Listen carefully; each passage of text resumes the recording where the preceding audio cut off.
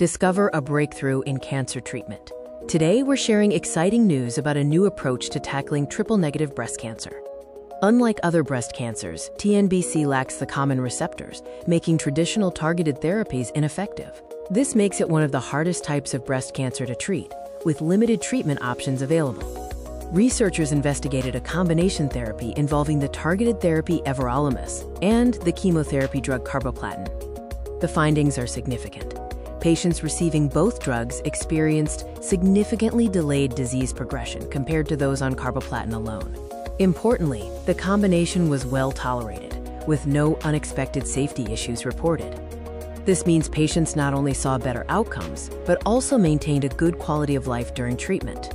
Many TNBC tumors lack the PTEN gene, which normally helps control cell growth. This deficiency leads to an overactive MTOR pathway, fueling cancer growth.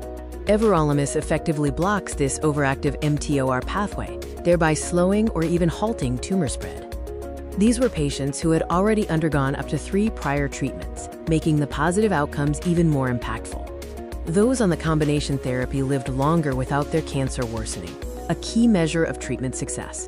She called the results encouraging, suggesting this approach could provide a crucial new treatment option for TNBC patients. However, researchers stress that larger phase 3 trials are needed to confirm the benefits before this regimen can become standard care. The combination of everolimus and carboplatin offers a potential new pathway for treatment, bringing new hope to patients who previously had limited options. Stay tuned for more updates on this vital research.